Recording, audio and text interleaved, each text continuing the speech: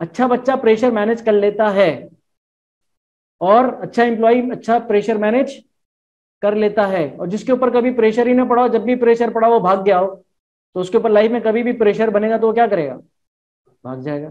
तो वो कभी भी अच्छा परफॉर्मर नहीं बन सकता।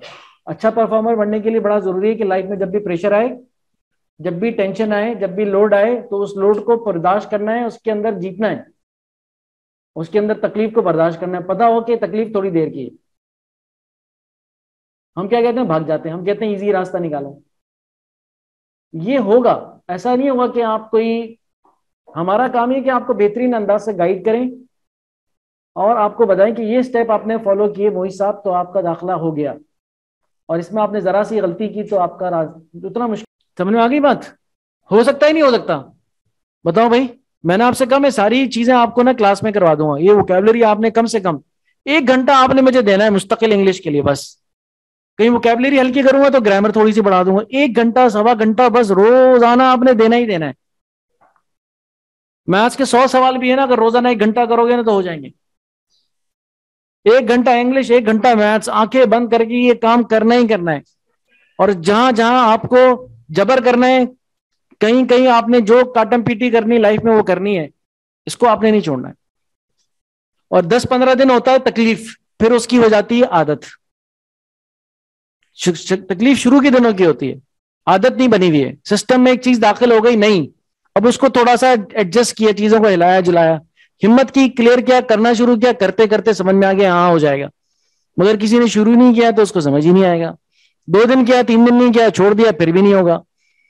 तो आप 10 15 20 दिन कंटिन्यूसली आप दें, हर चीज़ आपकी बिल्कुल ऐसी हो जाएगी स्मूथ हो जाएगी। उसका मतलब ही नहीं छोड़ दें फिर 20 दिन के बाद। उसको कैरी फॉरवर्ड करना आसान हो जाएगा। दो दिन किया, तीन दिन किया, चार दिन किया, एक दिन छोड़ दिया, फिर नहीं होगा आपसे। तो मेरा मैसेज क्लियर है ना? तो पढ़ाई मैनेज कैसे करनी है? किस चीज़ को प्रायोरिटी देनी है? किस चीज़ को पहले रखना है? किस चीज़ को दूसरे नंबर पर रखना है? ये आपको क्लियर हो। आईबीएम में हमारे पास कई रातें ऐसी आई हैं। हमने रातें जागी हैं, आपने तो इंटर वालों ने तो जागी नहीं, अभी तो पेंडेमिक में तो वो भी आसान हो गया। मगर कई रातें हमने जागी हैं, कई रातें हमने जागी हैं कि हमने पूरी रात पढ़ाई की है, बस नाश्ता किया और सो गए, नाश्ता किया आईवे चले गए और क्लास में जाके बस सो गए। पूरी पूरी रात। एक दिन में तीन तीन पेपर होते थे हमारे। आप लोग कह रहे हो ना कि सर पेपर एक दिन में तीन तीन पेपर होते थे। बात एक दिन में टीचर ने, दो टीचर ने एक ही दिन रिपोर्ट अपनी सबमिट करने की डेडलाइन दे दी। ओए भाई ऐसी थकन, अब मगर ये लाइफ में ना सिखा दिया उन्होंने कि प्रेशर कैसे मैनेज करना है। खड़ा कर दो किसी आईबी वाले को और खड़ा कर दो किसी और यूनिवर्सिटी वाले को। उसने वो लाइफ में प्रेशर कितनी दफ़ा मैनेज किया है? बहुत मैनेज किया है। और उसने शायद एक ही दफ़ा मैनेज किया है।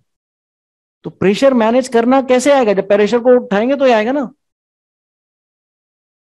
तो जो हिम्मत वाले बच्चे वही जाएँगे।